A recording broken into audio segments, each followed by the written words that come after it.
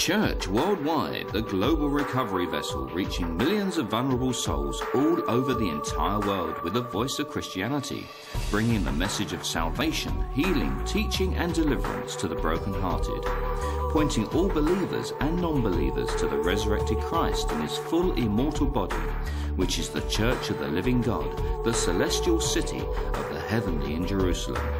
You are all welcome on board with us. Please join us now as Dr. Edmund brings a message of faith, hope, and deliverance. My name is Mr. Lawrence Ikoku. What has the Lord done for you? It's uh, over three months now, or three months plus. This my hand is paining me badly. You mean your right hand? Yes, after I work finish, so the hand begin disturbing me. Every time I will have sick for this hand. I say, okay, today I was coming into this program so that I know that I want to reach last bus stop. Immediately prayer are going on. So that is everybody put hand. Anywhere where penny you put hand, your right hand there. So you will receive healing. Immediately I put my hand there. Other five minutes, I begin to receive healing. All the whole my body begin to sweat. I make my hand like this because I cannot put this my hand like this. You mean for three whole months you could not do this? Yes, so it's paining me badly.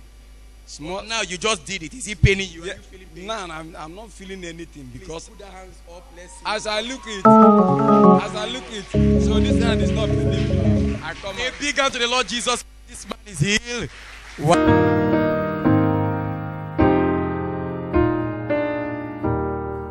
Maybe you are just coming in now. Uh, you didn't have opportunity to view this program. I'm going to pray with you as well because God loves you. And um, in case you have no fellowship yet, you're looking for a place to worship God in spirit and in truth, this is an opportunity for you. This is the Church Worldwide International. Uh, well, within you have the Kingdom Recovery Church in the Church Worldwide International. So God bless you. Can you open your hands but have faith in this prayer? I mean that you're going to be blessed now. That's what I'm saying. I mean it. If you doubt God, now watch it. Open your palms. Precious God Almighty, before whom I stand.